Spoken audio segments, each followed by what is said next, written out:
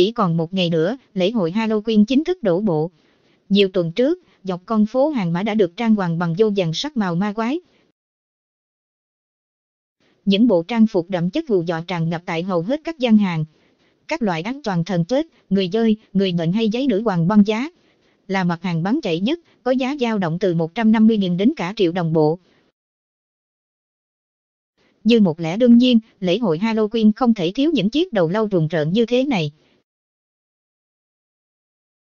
Theo chia sẻ của một chủ khu chợ trên phố Hàng Mã, đồ chơi Halloween năm nay rất nhiều chủng loại về chủng loại như mặt nạ, nón phù thủy, tóc giả, hình nộm, bộ xương, lưỡi hái, kiếm, đèn bí đỏ.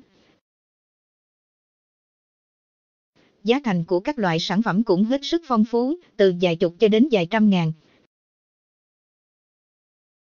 Các loại nón phù thủy được hầu hết các bạn trẻ la chuộng, có giá từ 50, không trừ 100, không đồng chiếc. Hai trong số hàng chục chiếc mũ đấu sĩ trên con phố nhiều người biết đến về lễ hội của Hà Nội.